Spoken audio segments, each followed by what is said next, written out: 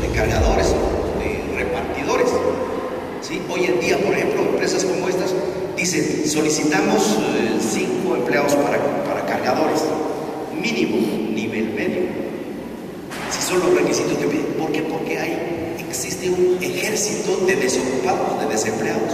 Bueno, pero sigamos con estos datos y nos damos cuenta de que si solo, ese, si solo el 10% entonces logra ocuparse cada año de los 200 mil que se gradúan, el 90, el 90% de jóvenes, ¿qué les pasa? Si son de origen campesino, pues se convierten en un campesino. Si son, sobre todo, y el peor de los casos, si son mujeres, se convierten en ama de casa. Y allá los ven, aunque sean jóvenes brillantes, amedallados, medalleros. No importa, allá los vemos con sus costales al hombro, jalando su perrito, para ir a trabajar. O sea, es el destino de la juventud y eso no es posible. No es posible que sigamos tolerando esto. Ahora, si hiciéramos un juego matemático, si son 200 mil, con el crecimiento de la población, años tendríamos cerca del millón de graduados nuevos de aquí a cuatro años.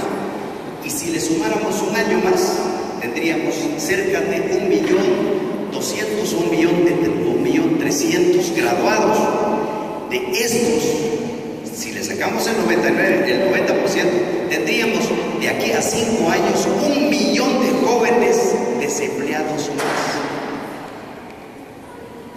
¿Cuál es la suerte entonces de ellos?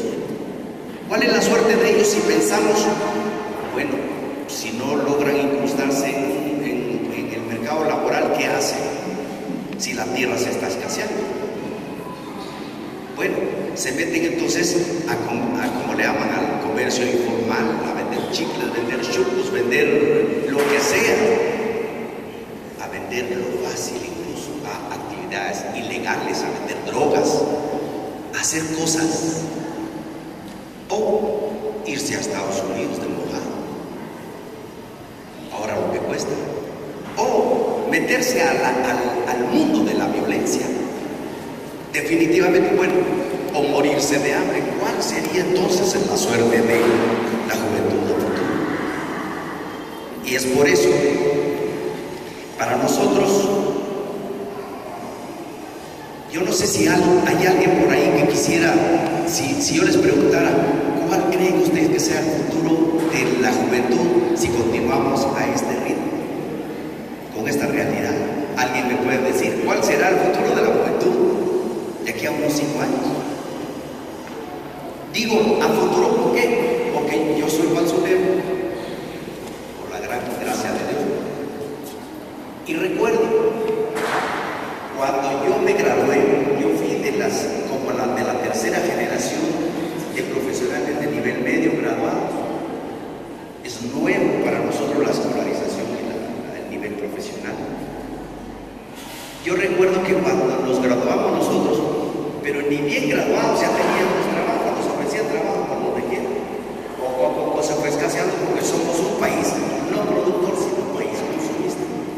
Entonces al final se ha, ha ido grabando cada vez es peor la situación. Entonces veamos, de aquí a 5 y ahora de aquí a 10, definitivamente estaríamos mal.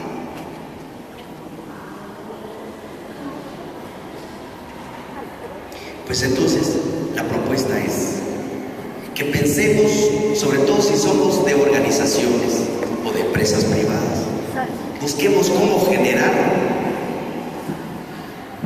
empresas desde las comunidades, el mismo tema lo dice, el tema dice desarrollo empresarial desde las propias comunidades. ¿Por qué no, no, ¿por qué no pensamos en serio en buscar la generación de empresas desde nuestras comunidades? Claro, claro sí, la propuesta incluye cambiar de visión. Está bien si tenemos desarrollo de, de, educación a nivel artesanal en la producción, está bien. Sin embargo, hay que superar eso, hay que hacer ir más allá, pensar en la producción industrial. Es decir, pensar entonces en la formación técnica, profesional, una metodología para la producción industrial. ¿Sí? Esa sería la propuesta, ir más allá de, lo, la producción artesanal que hasta ahorita le han dado mucha cobertura a las hoteles. Pero tiene sus limitaciones. ¿Cómo vamos a ser competitivos en la producción desde nuestro, nuestro método de producción artesanal? Definitivamente no podríamos competir. Pues entonces yo creo que me queda tiempo. Diez minutos, ¿alguien sabe decirme cuánto tiempo me queda para dosificar bien el tiempo? Nosotros tenemos, dice, secate, una experiencia, un oasis en el desierto. Es una esperanza que ha nacido. Secati es un centro de capacitación para el trabajo industrial con, ante el entendimiento y ante la demanda de la gente para capacitarse. Nosotros, la experiencia que tenemos es que hemos llegado a entender que la formación, repito, la tercera o cuarta vez, debe ser a nivel, la capacitación técnica debe ser a nivel profesional. Antes se daban cursitos de dos meses, por ejemplo, corte y confección. En dos meses, ¿qué se puede aprender? Tristemente, se podría medio aprender a mover la máquina. De ahí no se pasa, pero eso, esa era la modalidad. Nosotros le hicimos un planteamiento ya hace como unos 10 años, llevamos, solo llevamos 18 años con este centro de capacitación y nosotros le hicimos una propuesta al Ministerio de Educación para que no avalara cursos menores de gracias a Dios, hace como 4 o 5 años, el Ministerio de Educación nos reunió, bueno, y logramos que pasara esa iniciativa. Entonces, los cursos hoy en día son de un año los que nosotros estamos dando, incluso haciendo, formando este, programas muy grandes, completísimos, de tal manera que alcance a instalar capacidades. Esto nos garantiza a nosotros que al final del curso sí se, tenga la capacidad de instalar empresa propia, que es el objetivo máximo que nuestro centro de capacitación persigue. Otro elemento es que, según nuestra experiencia, cuando nosotros dábamos clases todos los días a grupitos pequeños, luego nos dimos cuenta que este centro de capacitación debería de orientar y dar prioridad a, los, a las jornadas de fin de semana. ¿Por qué? Porque estamos trabajando para trabajadoras y trabajadores, para estudiantes que no les queda tiempo eh, a lo largo de la semana. Entonces, eso fue un éxito porque definitivamente podemos atender las necesidades de quien esté trabajando, del obrero, de la obrera, o de las maestras que les queda algo de tiempo.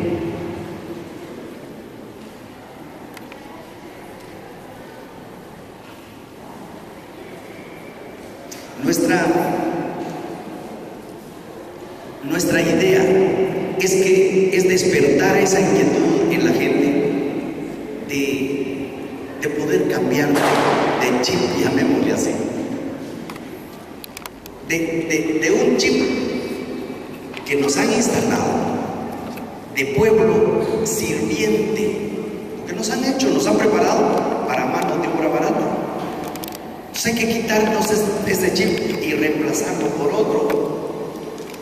Un, chip que nos haga entender la vida de diferente, manera. Es decir, que nos haga entender que, que la vida en, en, sociedad sí se puede superar los niveles de pobreza si encontramos los canales. Es decir, podemos a futuro aspirar a ser un pueblo productor industrial. Podemos aspirar a ser un pueblo de producción industrial, un pueblo industrializado, llamémosle así.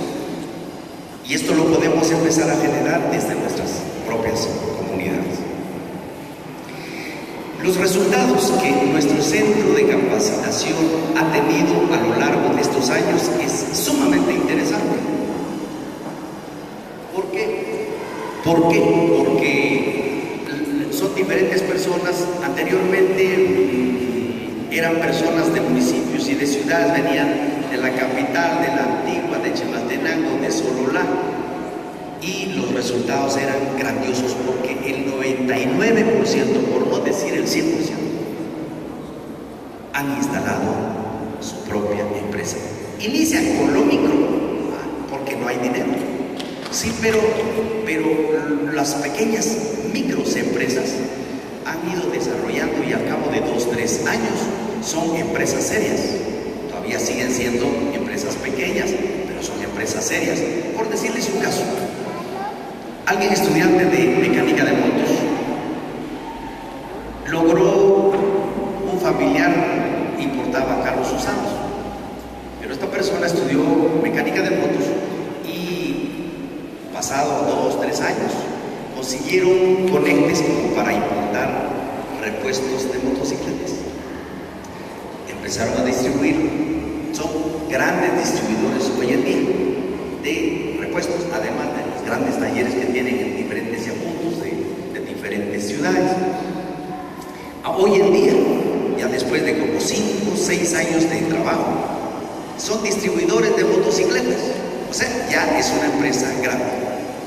Y este caso, les digo, es de un, de un joven de Sololá que había ido a Estados Unidos, tuvo la suerte de toparse con nuestro centro de capacitación y logró pues crear su gran empresa hoy en día. A diferencia de los que no encuentran oportunidades, vienen, han ido a trabajar unos 5 o 6 años y vienen y se compran camionetas del año.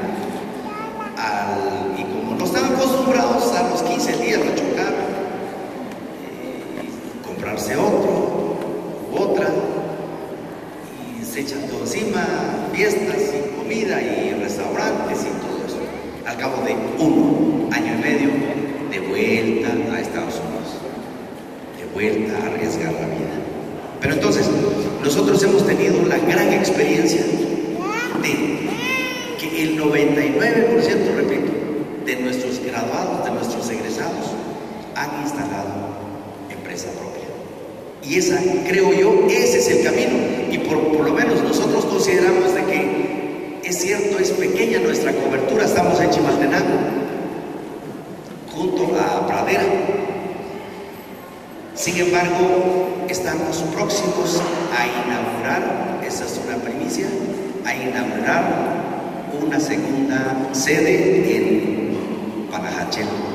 Ojalá se nos haga. Por ahí están las aspiraciones, los planes y estamos trabajando duro. Pero el, al final nos damos cuenta que quienes han estudiado con nosotros pronto dejan sus empleos baratos y se ponen a luchar por lo propio.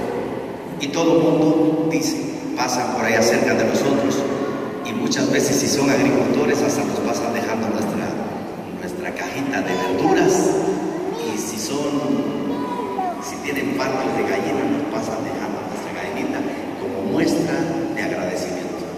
Muchísima gente muy pobre, pero con tantos, con tantos deseos de salir adelante y ha podido estudiar con nosotros, pasa luego después de dos, tres años y camionetón a recargar porque le está yendo bien. O sea que al final definitivamente sí, esta es una ruta prometedora. Entonces nosotros invitamos a que las instituciones, ONGs, pudieran reflexionar y reorientar sus actividades de beneficio social como para que generemos realmente de forma seria y con visión de futuro una mejor sociedad. Yo ahí lo dejo, no sé si hay alguna inquietud, alguna pregunta.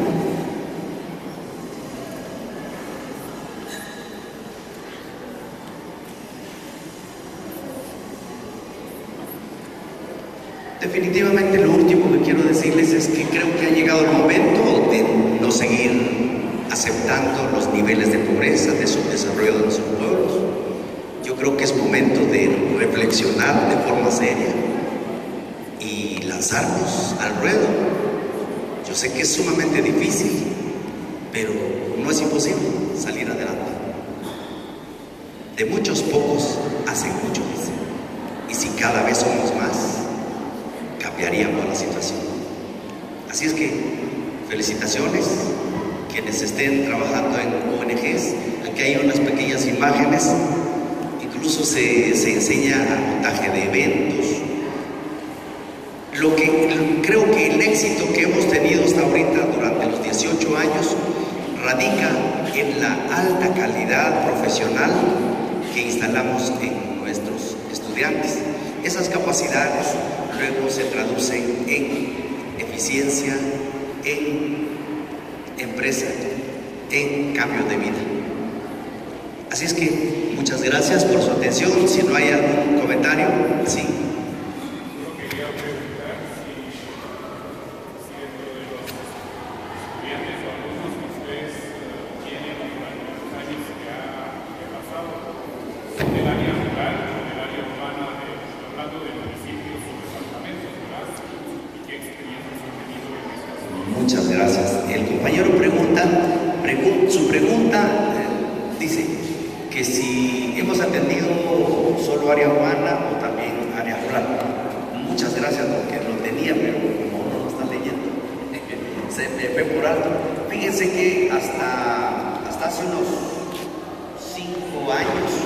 Nosotros trabajábamos básicamente con la gente de ciudad, pero luego comprendimos que había necesidad de llegar a donde era más necesario llegar y empezamos a hacer cabildeos con acercamiento con instituciones que se dedican a, a buscarle padrinos a los niños, a los muchachos, pero que también eh, lamentablemente en el área rural ocurre esto, que existe ya mucha desconfianza en las escuelas.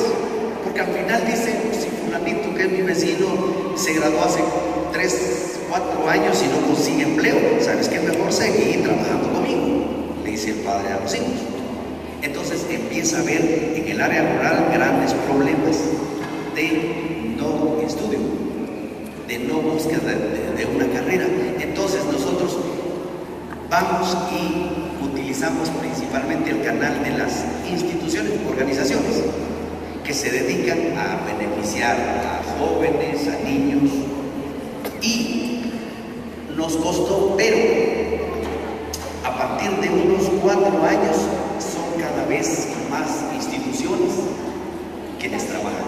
Por ejemplo, acá adelante, por favor, párense quienes vienen de la comunidad de San Rafael El Arado, Zumpan, ellos son un grupo de cerca de 23 estudiantes que están siendo becados por Familias de Esperanza. Y es increíble, lástima no vino María Marta. Ella ya está entregando, bueno, acabó la época escolar, pero ella entregaba diariamente cierta cantidad de, de ¿cómo se llama? De, de donas a escuelas. Eso es grandioso. Y allí es que se les ocurre ir a otras escuelas. Ahora ya están yendo afuera de su aldea. Eso es grandioso. Y por ahí es que comienzan las, la, las, las, la industria, el desarrollo de la industria. Sí, también Mario, el, el joven grande, este, también hace entregas de pasteles,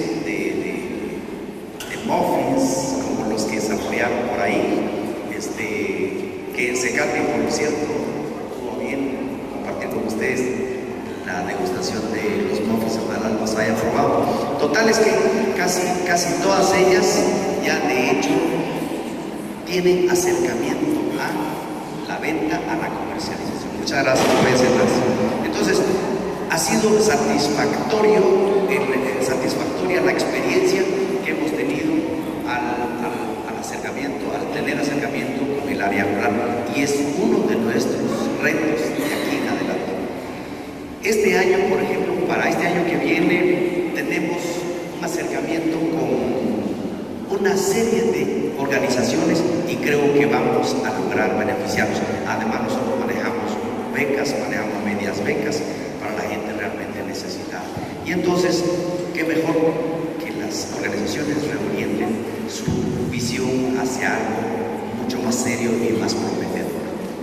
¿Alguien más tiene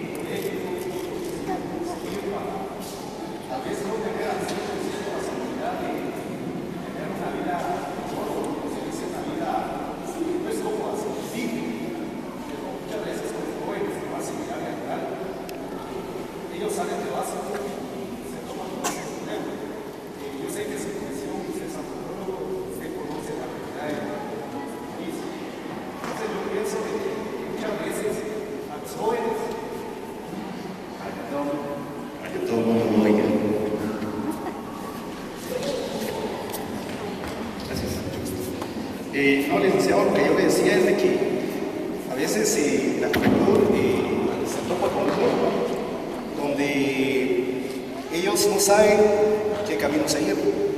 Ellos como que ven, eh, por decirle, en el área rural se de que sacan la educación básica y como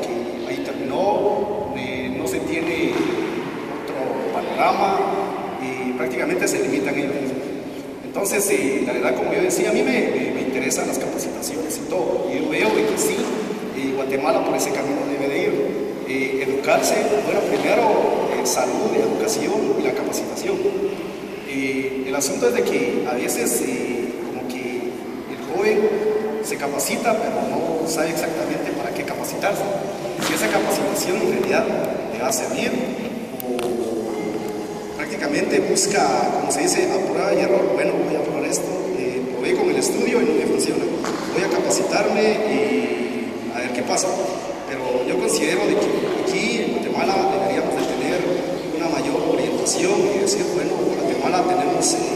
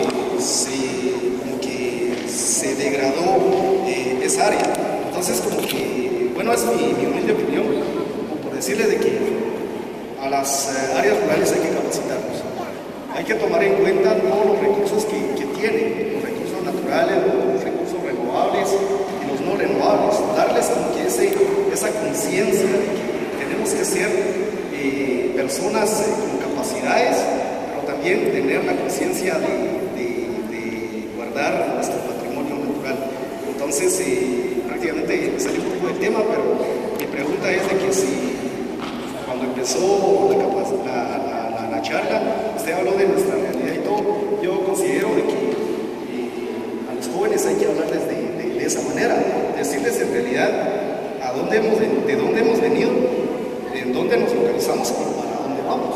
Entonces, como que para que veamos en realidad del panorama en el que estamos. Sí, por eso me preguntaba usted da la, esa charla a los, jóvenes que necesitan, que para mí sería... Sí, la pregunta de él es que si incluimos talleres de formación, de despertar Sí, efectivamente, lo hacemos. Incluso nosotros integramos a los cursos este, unidades de administración de empresa básica, pues elemental. Por ejemplo, el plan de negocio, que es fundamental, que, contempla, por ejemplo, el estudio de mercado y ta. Definitivamente integramos nosotros, integramos nosotros elementos de formación para que la gente despierte y vaya realmente para allá. Cuando la gente se integra apenas al centro de, de capacitación, dicen, ¿qué buscan ustedes? Y regularmente dicen, yo busco poner un negocito para ver, para ganarme los frijolitos. Y nosotros les quitamos eso. Es justamente necesario cambiar, revertir ese pensamiento para decir, quiero vivir dignamente, quiero alcanzar una vida digna es otra cosa, porque ganarme los frijolitos es para seguir sobreviviendo.